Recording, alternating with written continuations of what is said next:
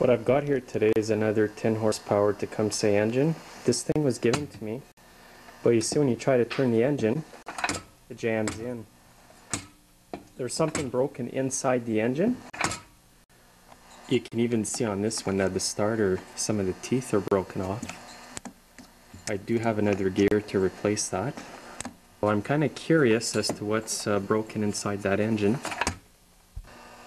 Actually, I can kind of see a crack there underneath the starter. So, you know what? I'm going to start by removing the starter.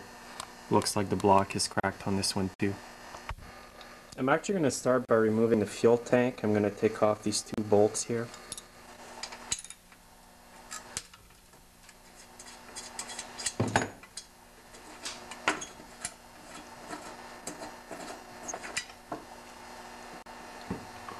Okay, cut that off.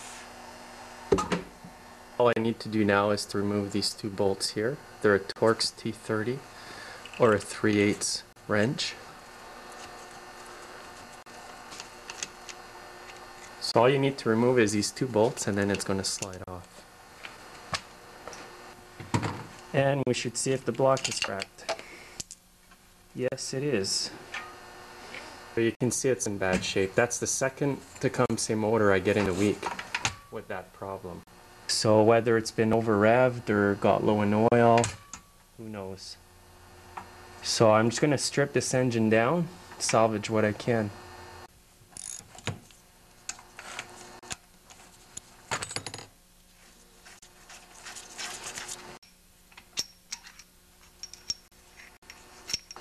The muffler is still in very, very good shape. They cost around $50 here. Just the 3 8 bolt up top the engine here. That holds the muffler. And then there's the two half inch bolts here to remove the muffler completely. Now on these mufflers here you need to retract the small clip here, piece of metal that's bent over. That is to stop the bolts from getting loose on your snowblower. So you can use a hammer and a flat screwdriver. Just tap them out.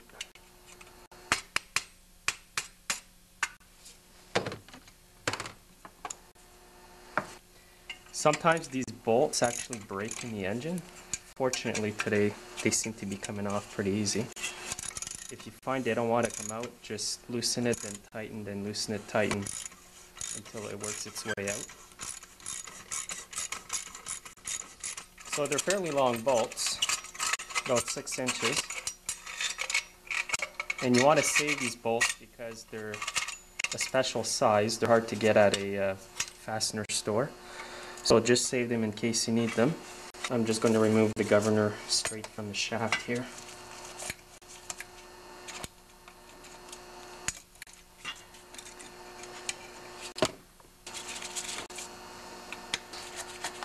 Got these off, this whole assembly is going to come off. Make sure you keep the linkages in the area they were.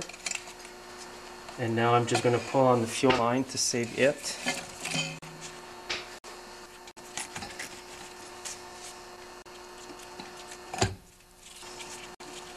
Now when you take the coils off, you're going to notice there's two quarter inch bolts, but behind that there's a 7 16 bolt here as well. You want to take that out. And then you can put your coil with their bolts back on these inserts. Kind of like this. Just put your bolt behind the coil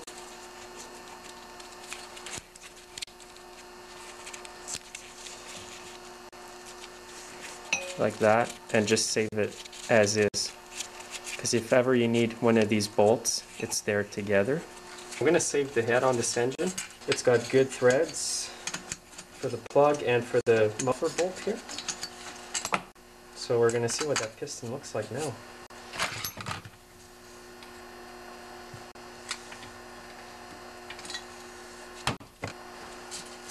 The piston is obviously not going to be moving because the rod's broken, but the valves are moving okay. So I'm going to save the piston, the valves, and whatever else I see can be good. I just took the flywheel off and you can see that the keyway on this engine is sheared right off. In one of my previous videos I take an engine like this apart with a broken connecting rod and the same thing happened. So you can see it's sheared right off. That's probably from the impact of the sudden stop. Okay, so it's time to remove the sump cover. I've got all the bolts off. They're all 3 8 heads. So I'm just going to gently tap it open.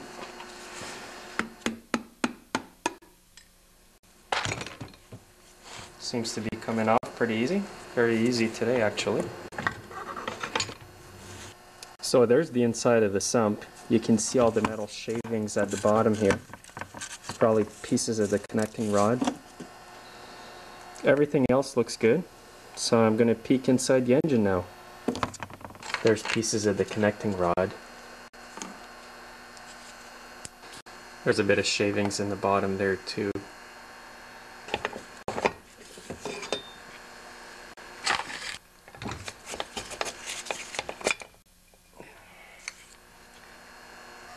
The cylinder still looks good, it's a bit dirty, but the block is cracked, so I'm not going to be able to keep it.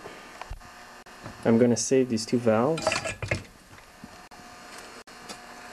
and that's about all that's left that is good in this engine. And the rings will be good, I assume.